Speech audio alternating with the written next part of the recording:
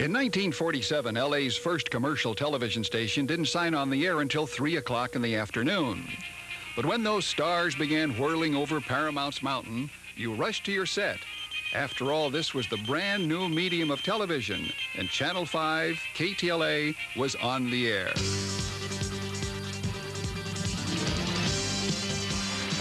Do we know if little Kathy Fiscus is still alive? No, not at this point. How deep have the rescuers gone? It is that brilliant flash, that white light that precedes the explosion of the atomic bomb number 17 tremendous experience, a horrible experience. I've seen so many homes burned, so many people in panic, so many people wiped out. That... The water broke over the top, filled up that lower catch reservoir, and right there, there is two homes that are completely engulfed. Implore everyone in Los Angeles to stay off the streets tonight. Kennedy has been shot, along with one or two others. They're on the ground. The back room right now, they're calling for a doctor. They want one doctor back there. They need another doctor. It, it just shook and shook and shook, and the wall just opened up. It scared the, you know, out of me. This is Los Angeles, the city of a million stories. And this is the story of the people who covered this city, its triumphs, its tragedies. This is the story of the first commercial television station in Los Angeles and how it helped to pioneer the fine art of broadcast journalism.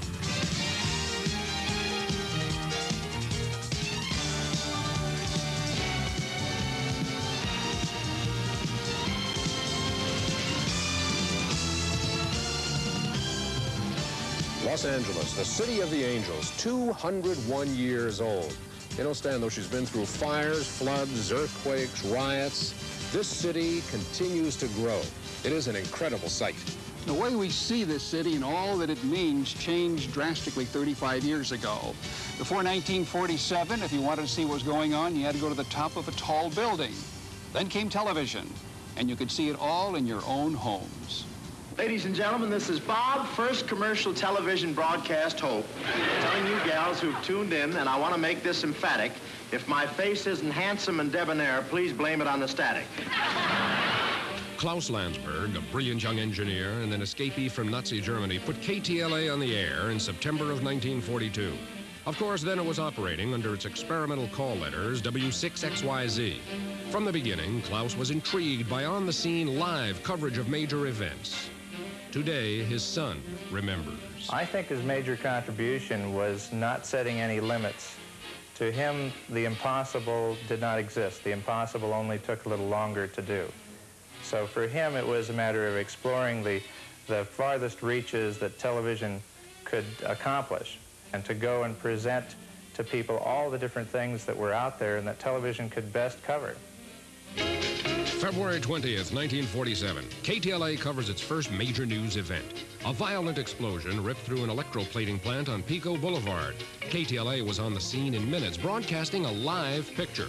The story was on the air hours before the newspapers could publish. And for the first time in history, television had scooped the press. There were 350 TV sets in LA. The reporter was Dick Lane. When a major quake rocked Southern California on July 15, 1952, we had perfected live broadcasting over long distances. I remember racing to Tehachapi in Kern County to televise live pictures of the devastation. Certainly the most poignant moment in early television news was the Kathy Fiscus tragedy. Kathy was three and a half years old, and she was playing in this field here with her two cousins. She had a pink party dress on that day, and then she vanished down a 94-foot well shaft. It was April 9th, 1949, and workers tried all night to reach Kathy, but they never succeeded. That's when Klaus decided to roll the live mobile units to what is now the football field of San Marino High School. The ordeal that began Friday afternoon ended Sunday evening. About 6 o'clock, workers broke through the corroded casing and found little Kathy, and she was dead. The Fiscus family asked Bill Welch, my colleague on the telecast, to make the announcement. And then about 9 o'clock, after 27 and a half hours of broadcasting, we signed off from San Marino. Sam, you were, you were on all night long. Did you ever think or wonder if anybody was really watching? Oh, It was incredible, Hal. We were so intent on the story, we had just no idea that people were watching. Uh, we were just there covering, it went on for hours and hours. And then later on to find out that people were standing on street corners looking in television store windows all night long was just hard to believe. It was certainly a dramatic broadcast. Viewers heard the voices of rescue workers nearly 100 feet below since a microphone had been lowered into the well. When it was all over, the letdown was tremendous. Many of the exhausted workers simply sat and cried. Our only consolation was to learn that Kathy Fiscus had died shortly after her fall, and at least she hadn't suffered much. In 1952, the Cold War brought KTLA to this barren desert to broadcast the most awesome spectacle in the history of television. That story when we continue.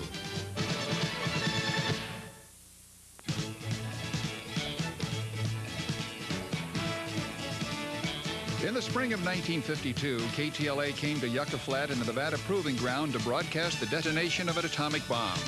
30 years later, all that remains are some old wooden benches and the memories of that day. So paratroopers from the 82nd Division were over there. And of course, all of the reporters from the Wire Service and the papers were up here, the cameramen, the photographers. Army brass over there, and then the scientists from the Atomic Energy Commission back in here. And the KTLA cameras were all over the range. And then overhead, a B-50 Air Force bomber preparing to open its bomb bays to drop the bomb. Of course, very few Americans had ever been present at the actual detonation of an atomic bomb. That's right, and Klaus Landsberg figured the most astounding thing you could do with the new medium of television was to bring the bomb right in your living room. And also astounding, the imagination and the work necessary to do that. The telephone company said it would take six months and $80,000 to televise the event, but Klaus Landsberg only had three weeks. So he borrowed a small fleet of Marine helicopters and then set up his own network of microwave relay links on mountaintops between Yucca Flat and Channel 5. It sure wasn't easy. That terrain is brutal, and, and really helicopters were still something new. Then on behalf of KTLA, Landsberg allowed the networks to carry his coverage of the blast. And then at 9.30 a.m., April 22nd, 1952, reporters Fred Henry and Grant Holcomb recorded the detonation of the world's 16th atomic bomb. Five, four, three, three, two, 33, one, one, zero. Well, there it is. Um, the first public demonstration and the biggest continental atomic detonation in the history of the world.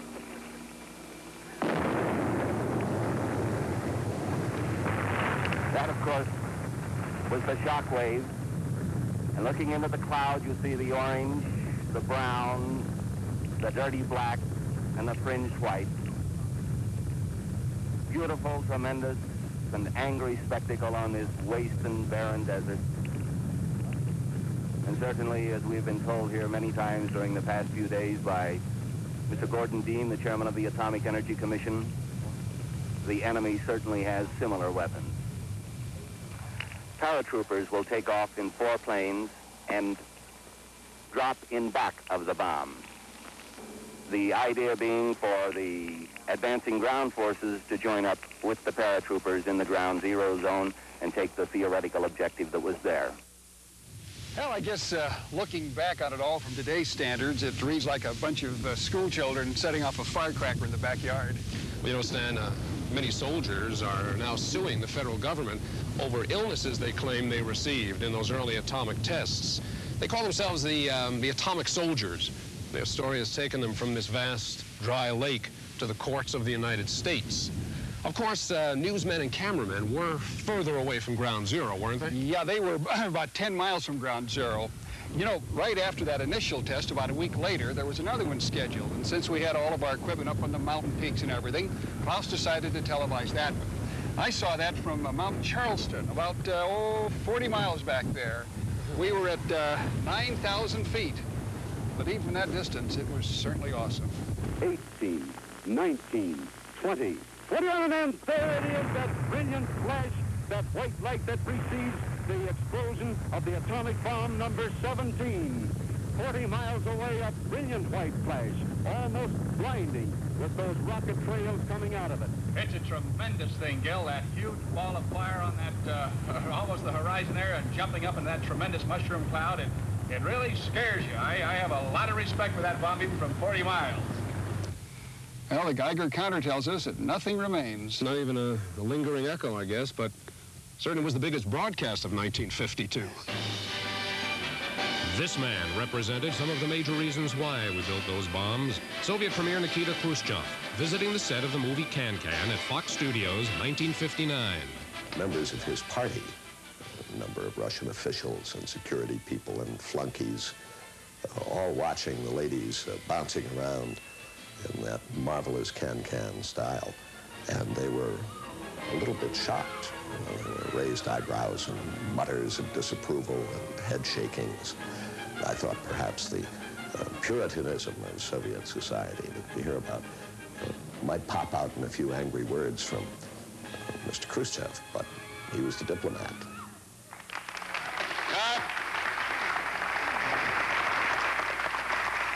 Well, you know, he had toured a good bit across the country before he got here and had been the subject of intense news coverage every step of the way.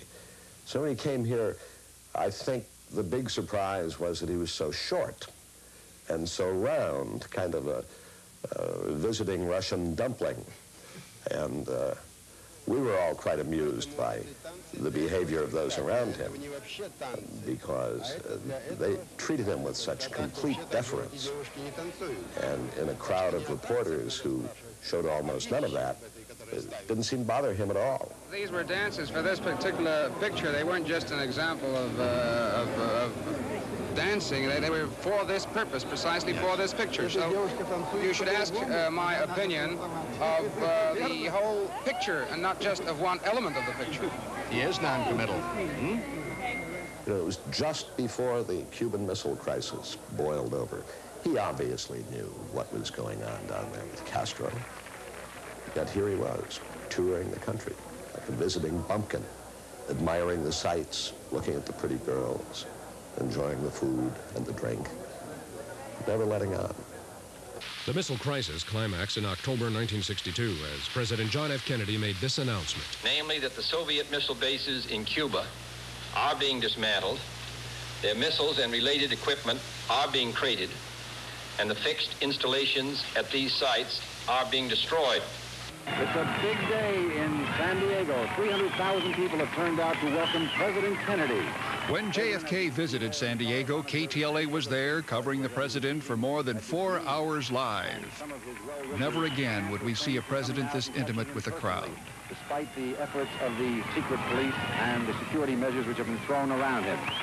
There's Mrs. Kennedy, and the crowd yells, and the President of the United States. November 22, 1963. Despite the efforts of the Secret Service, a president was about to be slain as he rode through the streets of Dallas, Texas. And this is it. People have just started to run. Policemen now to the area, policemen with drawn gun. The shots have just been fired. A state of mass confusion grips the entire area. People hitting the ground. Rushing up. At this moment, the car bearing the president and his wife and the wounded Governor Connally sped off immediately to the hospital, which was just about uh, four or five miles from uh, the point where he was shot. I will do my best. That is all I can do. I ask for your help and God. Lyndon Johnson suddenly found himself president, only to be challenged later by John Kennedy's younger brother, Robert. Bobby Kennedy was mounting a serious challenge to President Johnson and his Vietnam War policies here in Los Angeles in 1968. That story when we continue. So now let's on to Chicago and let's win there.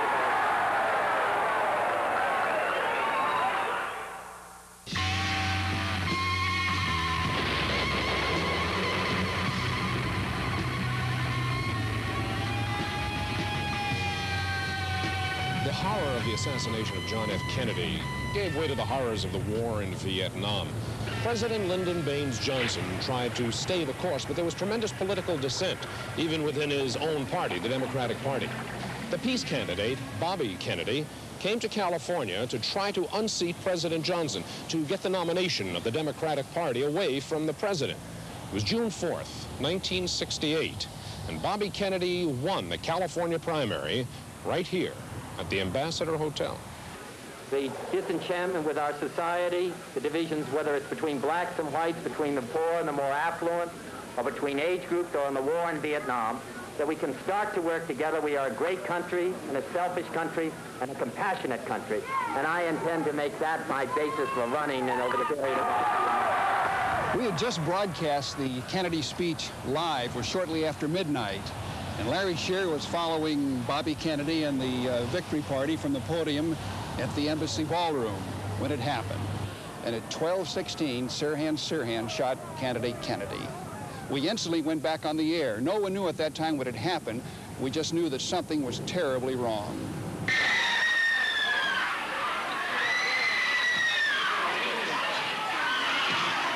You want to take it? Hey. Kennedy has been shot, along with one or two others. They're on the ground. in The back room right now, they're calling for a doctor. They want one doctor back there. They need another doctor. His condition, I don't know. His wife, Ethel, is with him.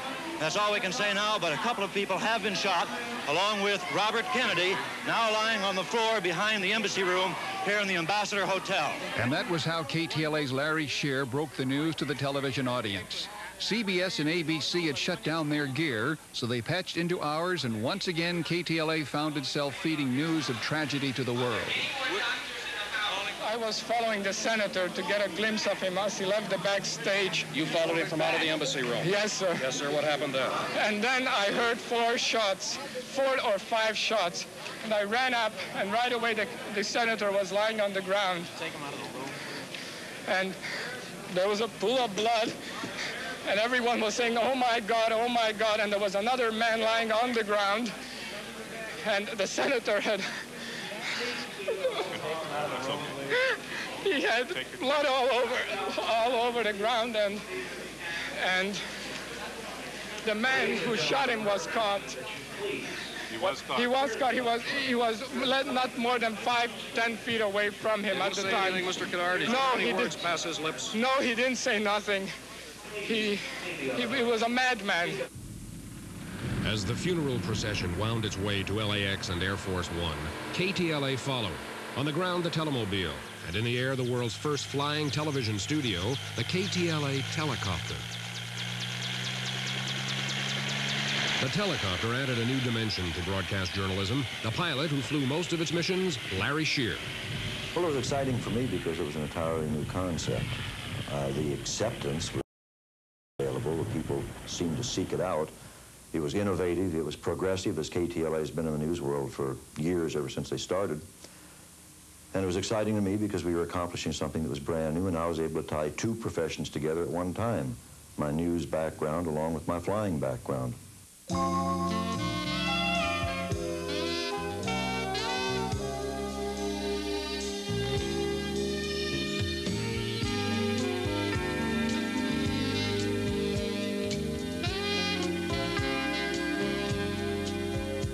What an incredible machine was the Telecopter.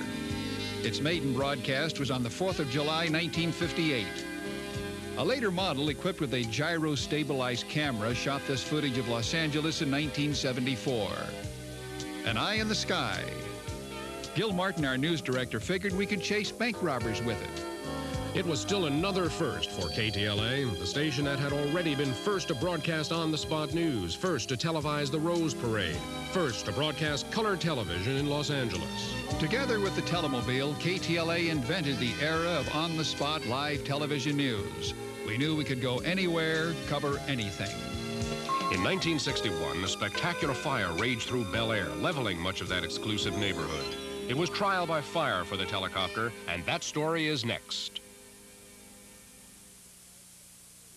A major brush fire erupted this morning in Sherman Oaks of the 3600 block of Stone Canyon in the San Fernando Valley, and since that time, about 45 minutes ago, It appears as though more than 75 acres of valuable watershed have burned to the ground, and also many expensive homes are in immediate danger. That was how helicopter pilot Larry Shear broke the news of the Bel Air fire Monday morning, November 6, 1961. At noon, KTLA preempted all its programming to carry continuous coverage of the blaze. Towards Stone Canyon and has jumped Mulholland. Below, residents took our advice and began to evacuate. On the ground, reporter Clete Roberts covered the action at perilously close range. We can hear a fire truck in the distance now coming down. An effort's going to be made to save this house. Can you see the truck coming down the hill there? Hey, fade back. I would go in and just describe what was going on. And I told the crew, now you stay out here on the street and photograph the house. I'll walk in the door. I'll go inside. I'll describe the walls as they start to, to smoke and the piano as it starts to burn and, and give you a word picture, you know, old radio style. But at least there would be a report on it. So I went into the house. And I went in through the door and I was looking around and doing some descriptive work when I heard a rumble behind me and some noise and somebody shouting. And I turned and here's the whole KTLA camera crew coming in with that large old video camera, getting the tripod through the door some way, setting it up, and they came into the room with me, into this living room, which was about to burst into flame. All right, we're going to move our camera back, get it out of the way. We're in that embarrassing position of being in the way before the firemen are. Oh, this is a hot one.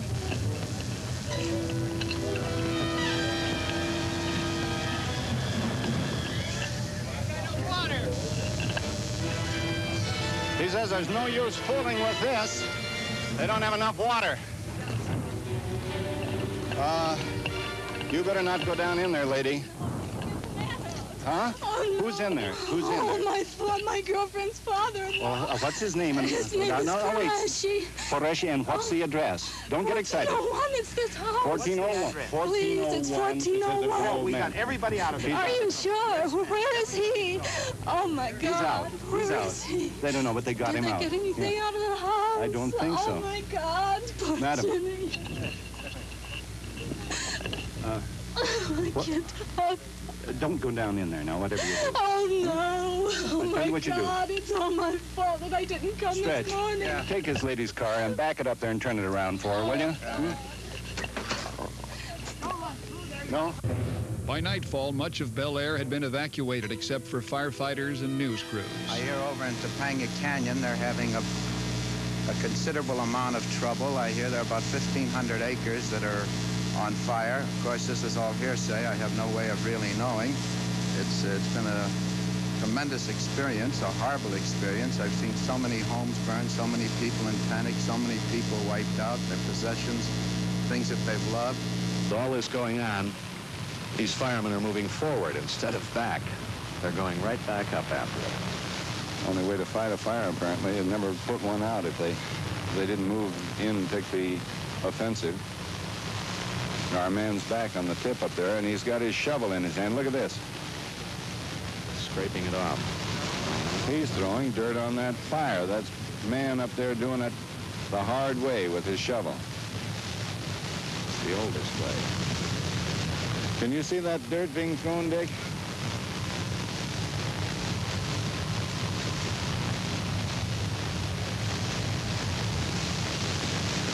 They're doing in a small way what the borate bombers have been doing all day here. Watch them move back. See that flame just lick up as though... Look at them bend before it, you see?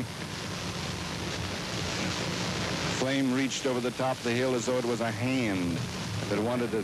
One man dove back so fast he fell. Yeah, I noticed. Kicked himself up. Yeah. Yeah, that's a... That's our fire over the top of the hill, and I think we've got to start thinking right now about where we're going. Two and a half days later, it was all over. 456 homes destroyed.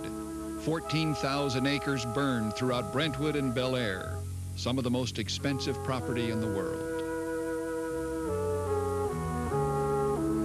If the helicopter and the telemobile were baptized by fire at Bel Air, their ordeal by water happened here, at the reservoir overlooking this neighborhood, Baldwin Hills. It was December 14th, 1963, a Saturday morning. A caretaker for the Department of Water and Power was walking along the rim of the dam. It was about 11 o'clock in the morning. He heard water running. It seems that a crack in the dam had opened right there. They tried desperately to lower the level, but there was just no way to stop the 380 million gallons of water backed up in this dam. KTLA was first on the scene. The telemobile was down here with Terry Drinkwater, and above, cameraman Lou Wolf in the helicopter shooting the scene. And pilot Don Sides did his best to find words to describe the incredible scene going on below. We can see the main break in the reservoir itself. The reservoir is a cement enclosed on the interior section, and there you can see the large hole on the inside of the Baldwin Hills Reservoir. It's going out probably through uh, 75 feet of earth fill before it again appears just north of the dam. Oblivious to danger, these kids stood on the dam which was about to break as they watched a 50-foot deep catch basin try in vain to cope with the flood. Uh, we're here in the KTLA helicopter. In just this moment, while they were talking with the man, uh, the water broke over the top, filled up that lower catch reservoir, and right there, there is two homes that are completely engulfed. One of the homes is the walls are washing away at this very time right now. 380 million gallons of water crashed down the hillside, demolishing homes, apartments, and automobiles. There's a picture. You can see those automobiles literally being pushed back four, five, six of them, seven of them at a time by this mud and water as it rushes across five and six feet deep across Coliseum Boulevard here at Cochran. 40,000 tons of debris washed through Baldwin Hills Village on its way to Ballona Creek and the sea. There, the next morning, hundreds of people came to scavenge. Dozens were arrested for looting. The whole dam is about ready to go at this point. The hole has opened up from what it looked like about six feet tall, two feet across, to this hole that's 40 or... There goes a large chunk of the inner cement here in the Baldwin Hills Reservoir. That hole is 50 feet across. We knew we had a big story, and as the day went on, because of our the equipment KTLA had, uh, which was the best in the business, we thought, and had won the station its reputation, uh, nationwide at least, uh, we knew that we were going to get there and cover it, and we would do it better than anybody else could, because we were the only ones who had the helicopter capability.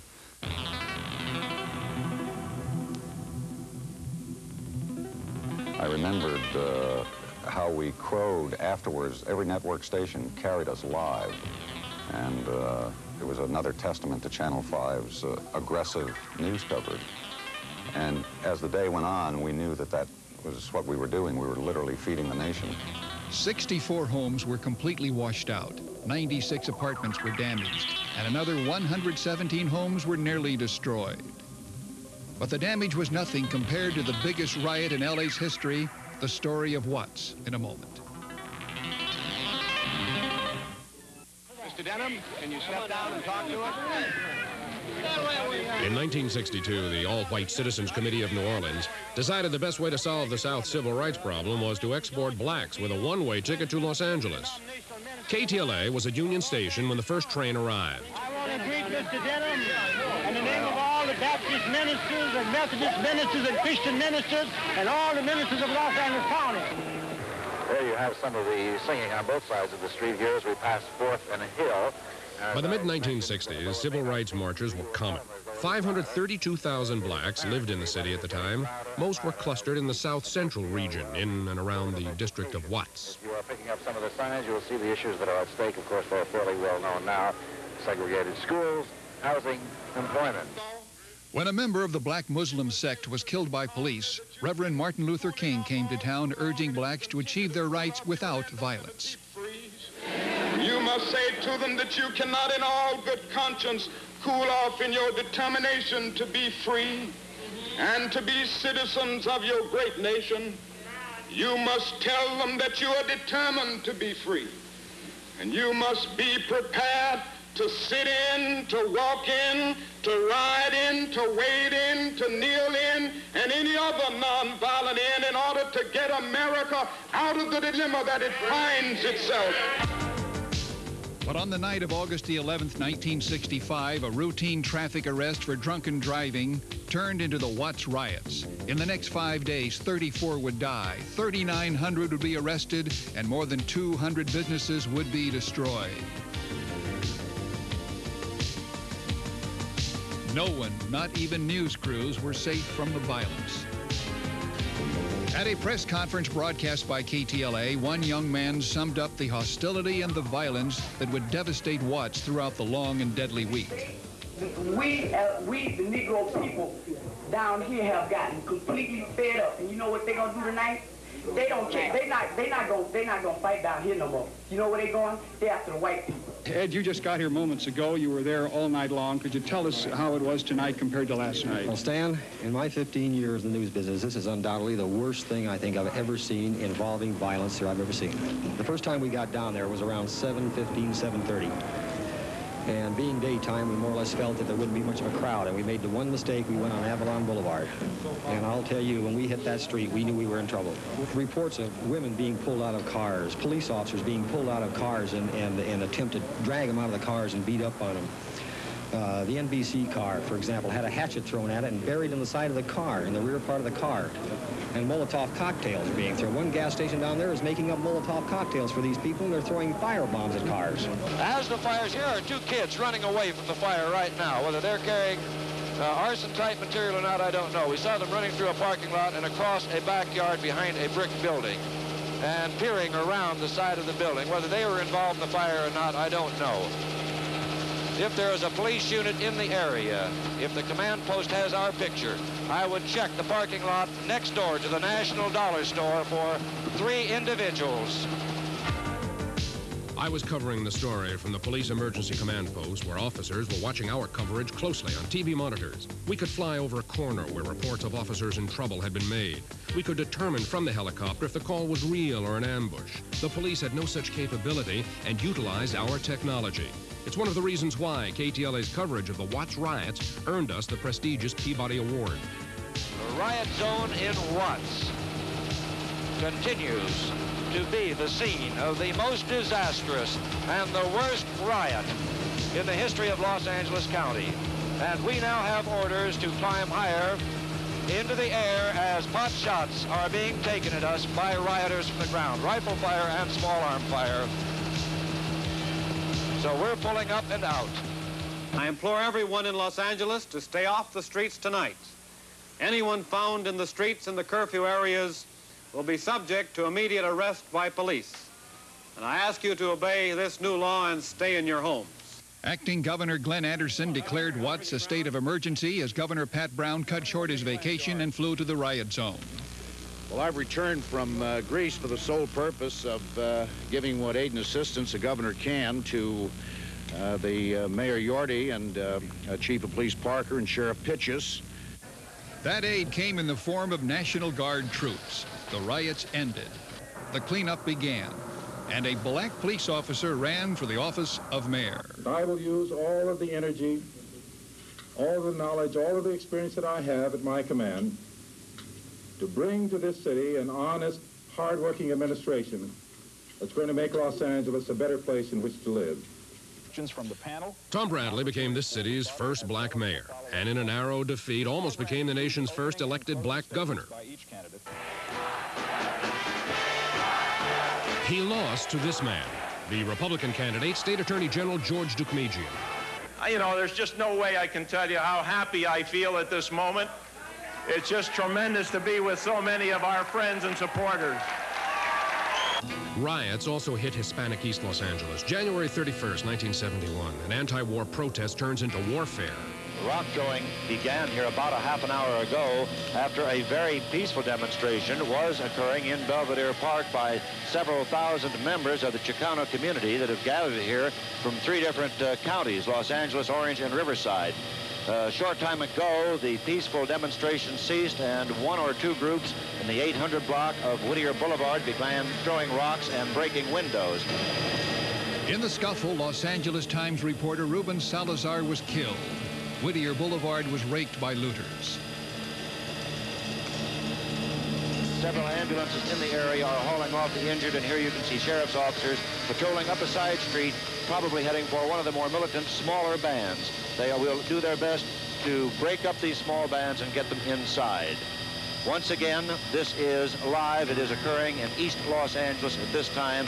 The Sheriff's Department and the Los Angeles Police Department at the scene, and it does appear as though their tactics are beginning to take effect and slow down the militant individuals of the Chicano moratorium. Larry Shear, Channel 5 News, reporting. But LA's most shattering experience happened only 10 days later. That story when we return.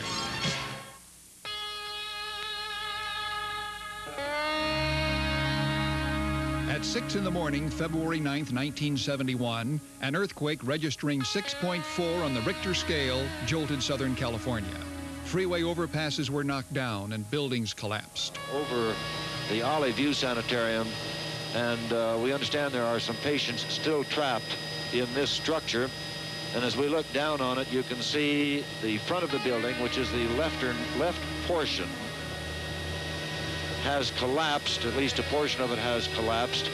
And we believe that this is where a lot of the severest damage was done in Olive View and possibly where some of the patients have been trapped. There are emergency vehicles here. And again, there's not much more that we can do other than to show you the picture. One person was killed at Olive View, a building supposedly earthquake proof. It, it just shook and shook and shook, and the wall just opened up. It scared those you know, out of me.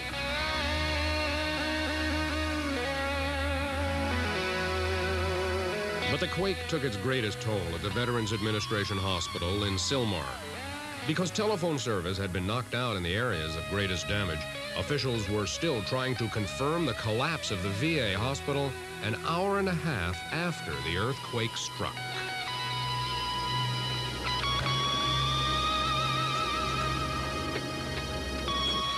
At this point, when the chopper made its first pass over the area, dozens of people were still trapped in the rubble and crumbled concrete walls. 45 persons were dead, patients and hospital employees. KTLA again canceled all of its regular programming and offered its helicopter pictures live to every station in town and all the networks. At best, there's a grim satisfaction in all that. But then had the helicopter not spread the alarm to many of the 500 who came here to perform rescue duties, the death toll might have been higher.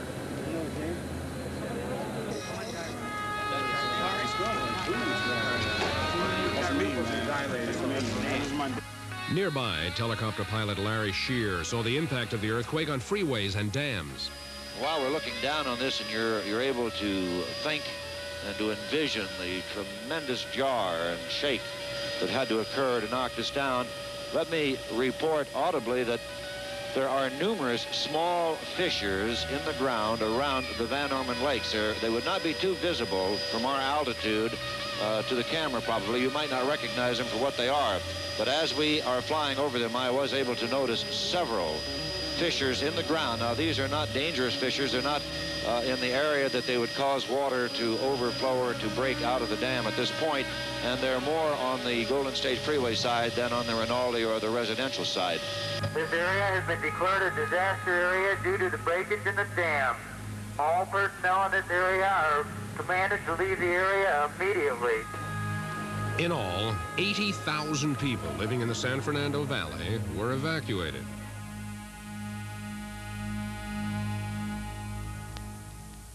But the face of Los Angeles has changed over the years in other ways, like the razing of a movie lot to build Century City.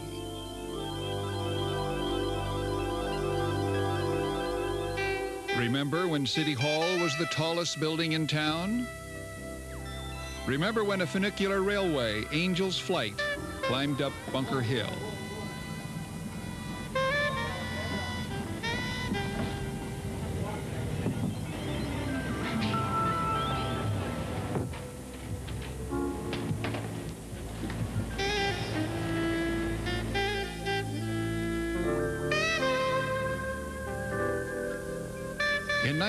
1962, urban redevelopment claimed one of LA's oldest and grandest neighborhoods, Bunker Hill. Our award-winning series, City at Night, chronicled the death of these landmarks and the people who lived there. Uh-oh, this is going to go right into the power lines. Kids and everything riding underneath it. In our helicopters, we chased runaway balloons. It could be bad. It might, uh, just miss them. Just missed him. Boy, that was a break. You like it despite yes. this? Well, sure. This only happens about twice a year. We covered the waterfront. A little bit of excitement. Huh? How do you like it? I don't much care for it. He is presently taxiing about 30 miles an hour. There are some... We watched as airplanes landed on freeways, and we watched as some landed in the sea. At least 30 survivors have been rescued. Four bodies have been found, and another 11 are still missing. In El Monte, we saw trains crumpled up like broken toys. Southern Pacific officials reported that one of these two trains was on a siding. The other train on a through route apparently jumped the track for some reason or another and plowed head on into the one on the siding. And 10 years ago, in another part of El Monte, I watched as workers tried for nine hours to rescue a little boy who'd fallen in a well. It is David, and he has David, the boy. He has Anthony. He has the boy. The boy has on the white hat. Jack Crippens is there. The boy's moving around and talking to them. He's talking to them. He's talking to them. They're lame. Today, Anthony Bernardino is alive and well and a junior in high school in Phoenix. Do you have any idea or any recollection of what it was like when they finally came and, and rescued you? Who the men were, what they looked like? The guy who pulled me out, he had blonde hair and a mustache, and he was real dirty, and so was I. I can just remember holding on to him, just, you know, hoping to get home. And I also remember getting at the top and all the people that were around me. You know, there were so many people. They estimated 500 spectators at the time. And the helicopter ride was pretty fun, too. And through it all, there was Stan Chambers, since 1947. We'll tell you this reporter's amazing story in just a moment.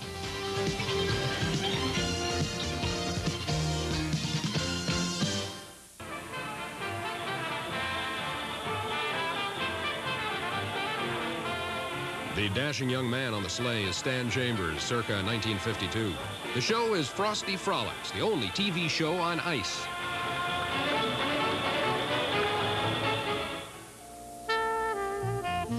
Stan Chambers got a job at KTLA in 1947, a few months after the station signed on the air. And put simply, he stayed. Here he is in the Soviet Union in 1959, demonstrating American technology to the Russians in the form of a Polaroid camera. Whether it was covering the Parade of Roses or accepting an award for himself or for the station, Stan Chambers has been an unsung hero of television journalism, unsung until now. Anyone who has worked at Channel 5 for two generations has worked with or for Stan Chambers. He was my news director at one point. He was a fellow reporter at another point. Uh, he is one of those rare people in any television station who survives all of the turmoil and all of the turnovers. I think it's probably because he's a loyal person and uh, he's a dedicated human being. He's a good man. A really nice guy. Everybody says that about him. And uh, frankly, I've gotten tired of hearing it over the years. Uh, but I believe it. And it is astonishing that such a nice man, decent man, good news man, could last so long. You can't tell the story of television news in this community from the very beginnings to today without having Chambers run through it from the start right up to now. He has been the glue that has held KTLA together. He stepped in and ran the news department when there was no, quote, news director. He stepped out gracefully when they got a news director. He anchored the news when they didn't have an anchorman, quote, and he stepped out when they got an anchorman. He's an all-purpose journalist, and uh, he is, I believe, probably the dean in this town. Thank you very much. So here's to Stan Chambers in his 35th year at KTLA. And here's to all the reporters and writers and hundreds of others who have brought you the news. And here's to KTLA and the first 35 years.